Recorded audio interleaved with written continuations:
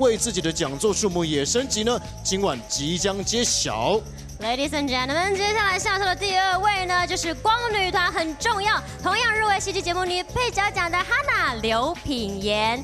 在评审眼中的哈娜哦，她一开始有着邻家女孩的天真，但最终呢，陷于情绪失控的悲剧。这高难度的演技尝试，成绩斐然，获得了肯定哦。而她跟阿纪的小姐内斗哦，从戏里面斗到了戏外，因为都曾经获得戏剧节目女配角奖的他们，这回又同样的以同样的奖项互相厮杀了，在 Hikari 上演这个欢场人生的互相厮杀，延伸到了金钟奖的典礼上呢。下一台车开进来喽，是哪一位成员呢？就是光女团的第三位成员，入围戏剧节目女主角奖的苏阿妈杨锦华。评审赞誉完美诠释苏静怡这个角色，对于爱恨情仇以及和其他角色对戏的诠释丝丝入扣，情感比例拿捏恰如其分，与林心如所饰演的 Rose 妈妈互相搭配，对手戏精彩绝伦，缺一不可。而这也是她第五次角逐戏剧节目女主角奖，能不能一举敲响人生的第一座金钟呢？令人非常的期待。各位观众，光女团的最后一位压轴成员登场了，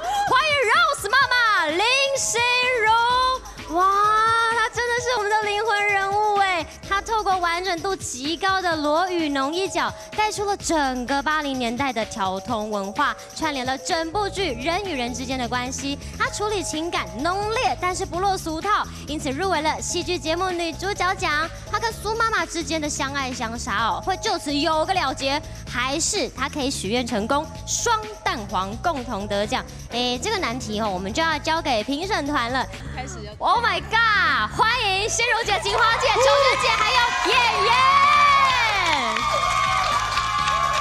谢谢你们。Hikari 真的好红哦 Hikari no Minasan，今天各有特色，真的你们的战袍各有特色，以剧中角色的姿态来展现一下你们的战袍吧。真的哦，今天说阿纪，阿纪你先来，阿纪你这次魔鬼女大兵哎，好帅哦！因为我太怕演员扯我头发我。就是这样讲，他是不是故意怕那个我会扯他还是说最近有点看破红尘？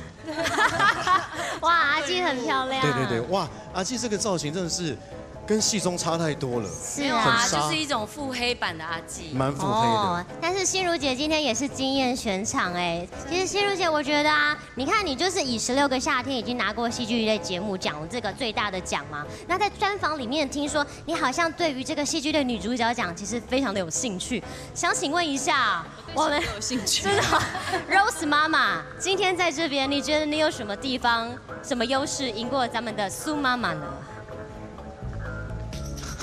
我颜色比它亮。哦，颜色比她亮是不是？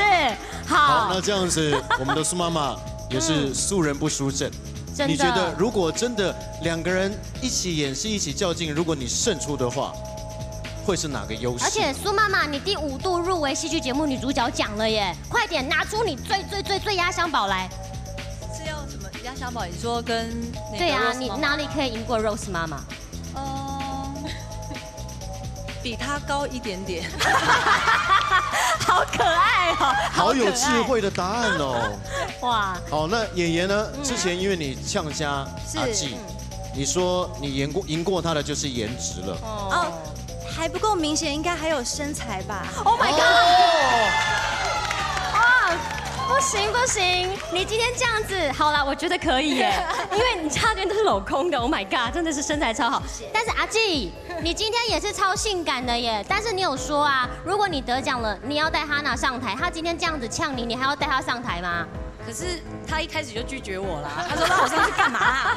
好了，我想大家看到阿纪这样还是有点好奇，虽然不能讲全部，看可不可以让我们了解一下为什么会突然这个造型呢？哦，就是拍戏啊，演员嘛。哦，又是一个很颠覆的角色了。哇，哎，但是其实今天妈妈们都在现场哦。小黎想要就是自我引荐一下，小女子本身在林森北路长大，那个颜值还算中上，应该可以到 Hikari 上班担任一个什么担当？妈妈们觉得我可以当什么担当？